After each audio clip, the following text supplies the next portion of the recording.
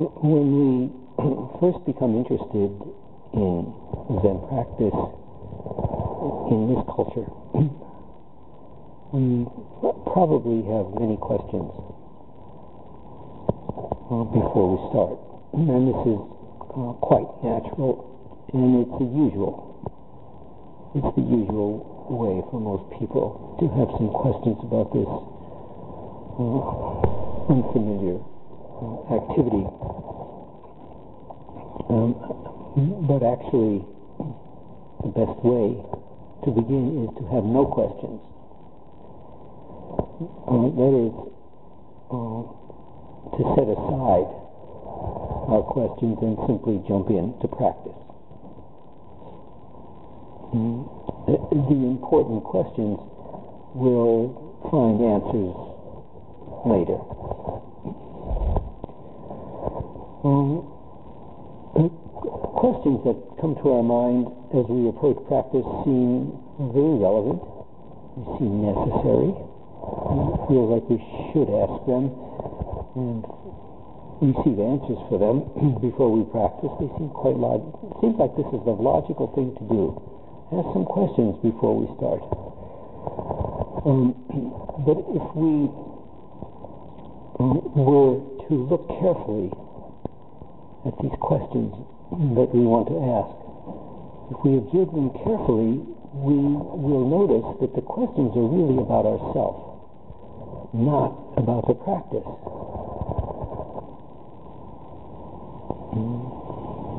The source of our questions, even though they seem to be about the practice itself, are really about if I do this practice, what will I get? If I do this practice, will it be worth it? These are the hidden questions that we are, we are asking.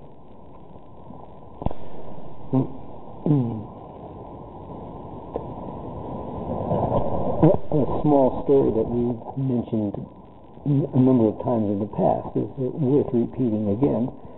Uh, when Suzuki Roshi was in San Francisco, starting San Francisco Zen Center in the early 1960s, a young man found his way to him and met Suzuki Roshi and said, uh, I'm really interested in Zen practice.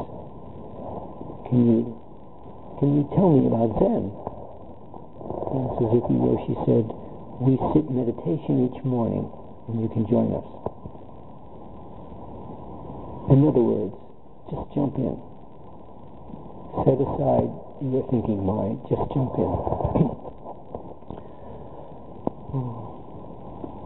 Before we start practice, we are looking at it from outside and we feel ourselves outside of the practice. And when we are outside the practice, it looks like it's some kind of methodology or technique, you know, something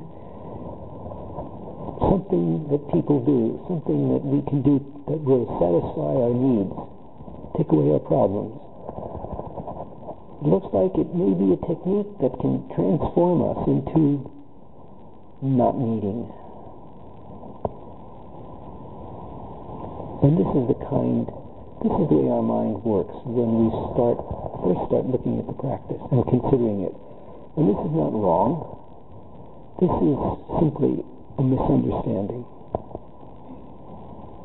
because we are not familiar with what the practice is. So uh, we have these kinds of questions.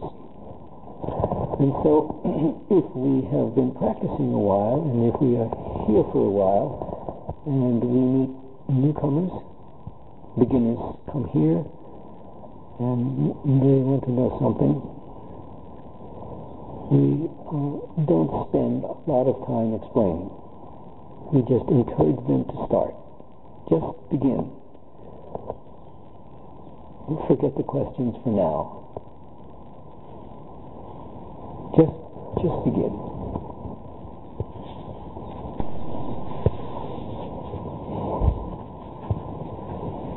What we're really saying is trust the intuition that brought you here in the first place.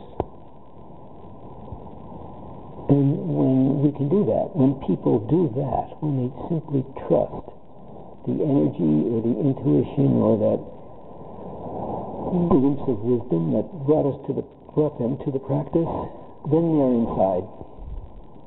Then they're not outside the practice.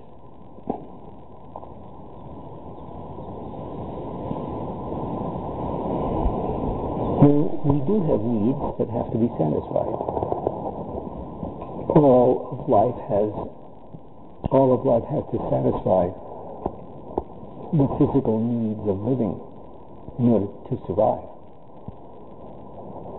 Um, we have to eat and drink, and we have to sleep. We have to treat our illnesses. Uh, we have to support ourselves, find shelter. These are universal needs, and they're shared by all all living creatures. From the elephant to the ant, all creatures have to satisfy physical needs. They're natural, and we have the responsibility to take care of these needs because we have life.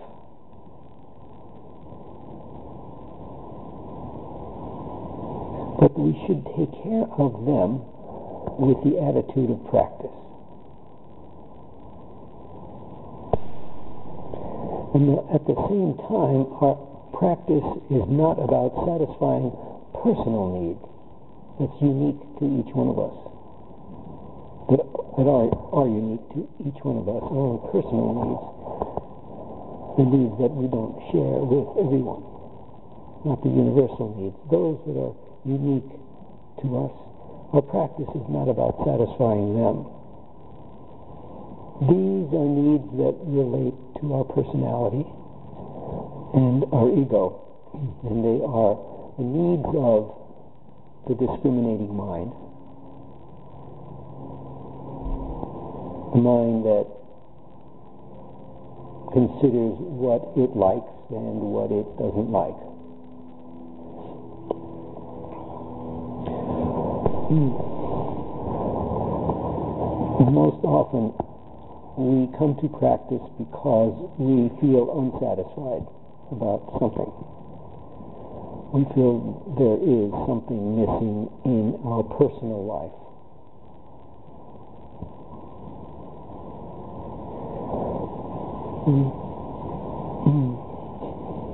Since the beginning of history, the usual way that humans have tried to satisfy some kind of need that they felt was to go after it, pursue it, and attain some new thing.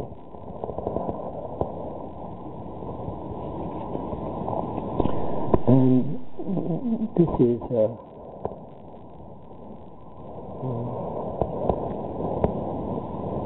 a significant element in our own particular culture where this particular country is based partially on the idea that we have the right to pursue happiness, the pursuit of happiness. But if we come to practice because we feel there is something missing, it is not a thing, an entity, a commodity that is missing. So, For example, let's say you decide you want to make soup. Soup for dinner. So you get out the, find your favorite, you find the recipe for your favorite soup and you gather all the ingredients and you follow the directions and you, you make soup. And uh, when you finish, the soup tastes pretty good soup tastes fine. But if you start to think, I can make it better, and you add another ingredient, and then you think, I can make it better, you add one more ingredient. If you continue doing that, eventually you will ruin the soup. Another ingredient is not what is missing in our life.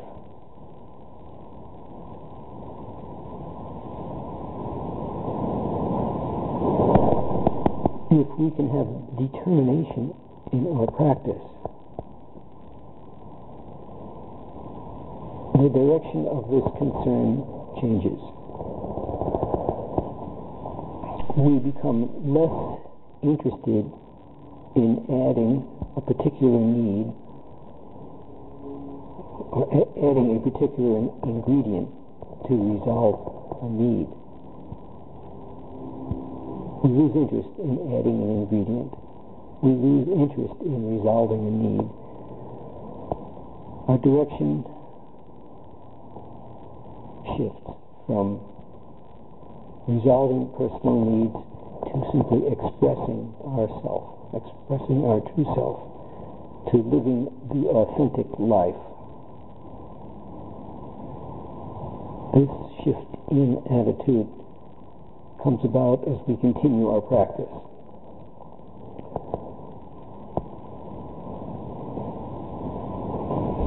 Our emphasis is on finding the authentic life, the life that exists before there is a personal you and before these needs arise.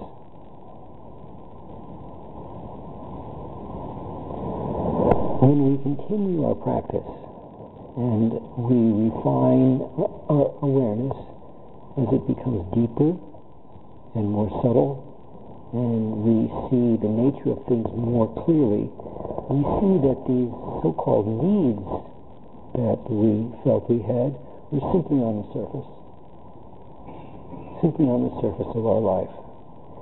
And when we recognize this quality of these so-called needs, we are no longer troubled by them. And we are no longer concerned with questions. Our emphasis is simply the practice itself, for no other reason than the practice itself.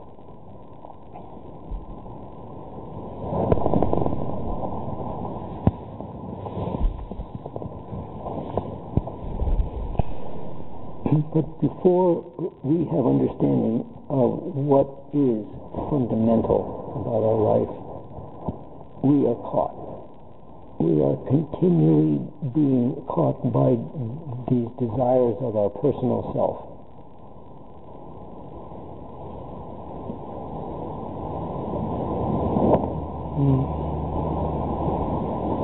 By continuing our practice with determination,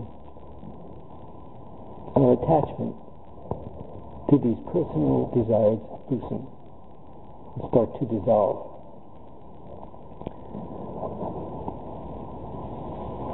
And we come to a very significant understanding.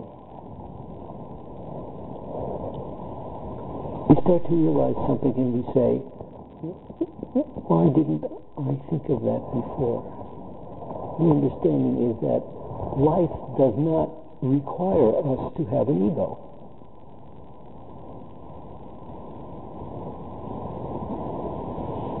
Even though we may feel so or think so, that's a misunderstanding.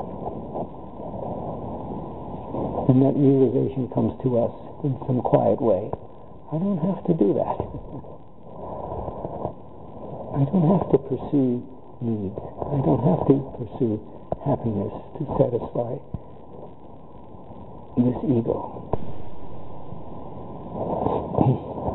But the teaching of Buddhism, the teaching of Zen practice is uh, the Bodhisattva way, Bodhisattva way of life, which is based on selflessness or the understanding of no self.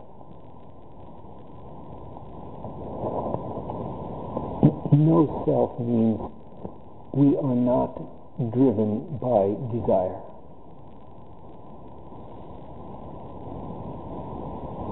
There is no small self, no ego that desires something, that is looking for one more ingredient to add.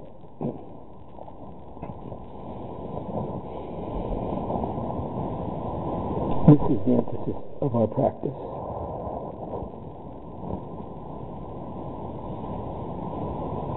And when we see this, when we feel, when we find we are living our life selflessly, the bodhisattva way, uh, there's where we find a peace of mind and joy and the creativity. Nothing, nothing holds us back. first time, first time we read about this teaching or we hear, hear this teaching, hear a lecture or a talk, it feels right. It instinctively feels right.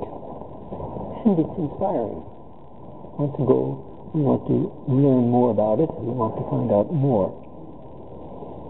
It's inspiring because it gives us a glimpse of how life really is and how it can be for us. And this inspiration, uh, this feeling, provides us the motivation to come to practice. So we come seeking for a place to sit.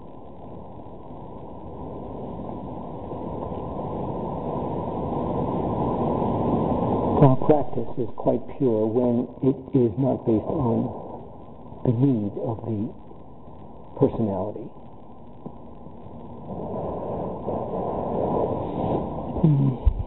Uh, however, despite the motivation that we may feel when we first discover the practice, despite the motivation, if our practice is not sincere, if we are still seeking for something for our personal self, this will be a big obstacle. We will never be able to settle down. So the problem, of course, is this ego that we really don't need. Ego, or what we might say, self-centered orientation to life. So we tell ourselves, oh, this practice looks good. I will practice with determination. I will practice sincerely. But then we tell ourselves, yes, but too often this happens. We tell ourselves, yes, but, and we create some excuse. And the sincerity, the aim of our sincerity is compromised when we say yes, but. This happens quite often in life. when the ego is driven by so many needs. We may feel inspired, but then we find a reason to not accept what it is we know we should do. So you have heard about this term called the yes but. It's a big trap that we fall into. We can fall into mostly without realizing what we're doing. So, for example, you might say to your friend, you know, my house is really dirty. And your friend says, well, why don't you clean it? Yes, but that takes a lot of work and time. Well, why don't you hire some house cleaners to do it? Yes, but that's expensive.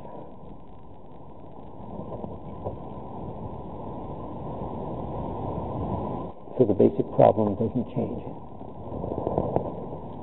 Or maybe somebody will come to you because they know that you practice this meditation practice and they trust you and they say, How can I find peace of mind? And you say, Why don't you practice letting go of your desires? Uh, yes, but that takes time and effort. Or they might say, well, yes, but what if nothing happens? Uh, this phenomenon is common. This yes, but attitude is a desperate feeling to fill some need, some desire. It's a fear about mm, losing control or losing comfort, losing money, losing leisure,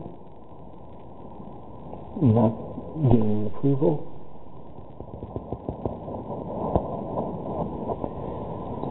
Mm-hmm. It's a trap because it puts emphasis on the surface issues of our life, of our existence. It doesn't let us get to that authenticity that we crave. It puts emphasis on the needs of personality. And these needs are quite temporary. They have no substance. And like we just chanted, they are empty.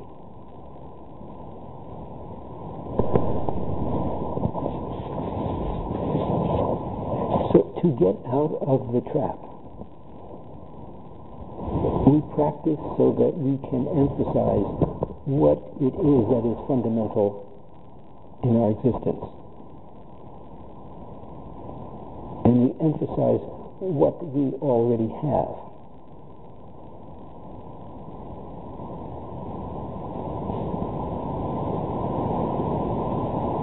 Our physical needs are one thing. When we take care of them, we are taking care of what it is we have been given. We have been given this life,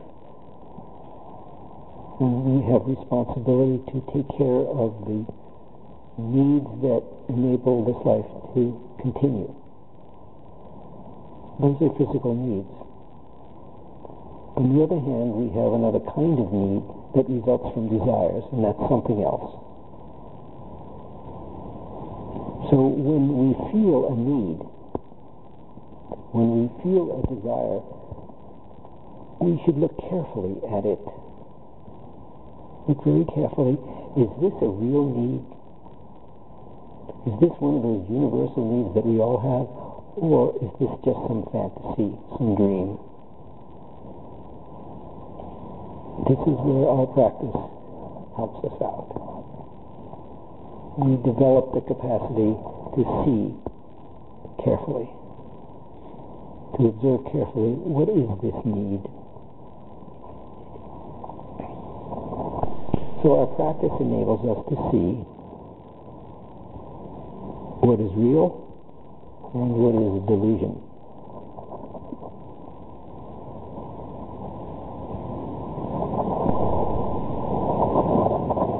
It's important to keep our practice pure and see what is delusion and not follow it. So if we can let go of being concerned about gaining something, pursuing something, or filling some need, we can keep our practice pure and purify our life. So when we feel that something is missing from our life, we need to tell ourselves it's not another ingredient. What's missing is giving up pursuing.